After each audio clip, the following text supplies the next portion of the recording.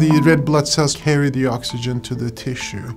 And as they unload, they have to go and just reload and come back, reload and come back. However, if the number of the red blood cells are scarce or low, then it would be an anemia. Then the demand of oxygen might not be met. In the fetal life, that oxygenation happens at the level of placenta.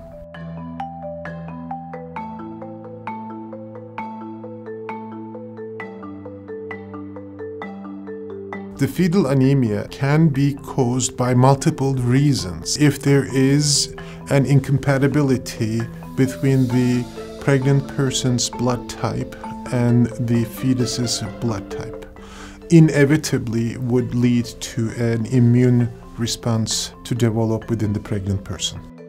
And those antibodies are able to be transferred through the placenta to go to the fetus and destroy those red blood cells. In order to compensate for the need of oxygen, the fetal heart starts working faster and harder. And at some point, the heart would get tired. Then it would not pump, and the blood would back up. Then that would be just before a fetal demise.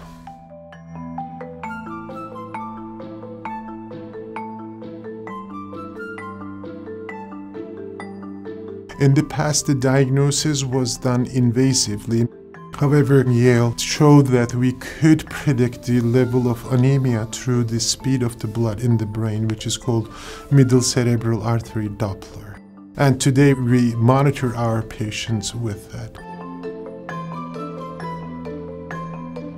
If we see that the anemia is in the severe range, then we can do blood transfusion. If we suspect anemia very early in pregnancy, we can give the blood into the abdominal cavity of the baby, where it gets slowly absorbed into the fetal system.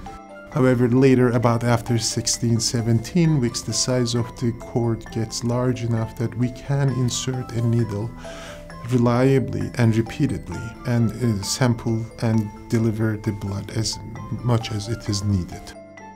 After birth, uh, the anemia generally resolves.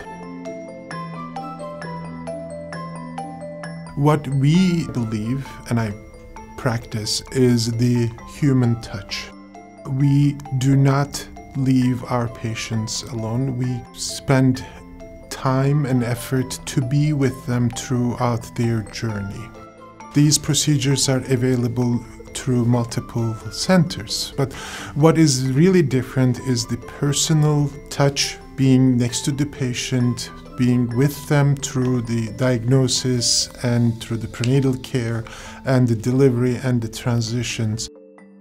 Treatment is the easiest part. The feeling that they are not alone is the most important thing.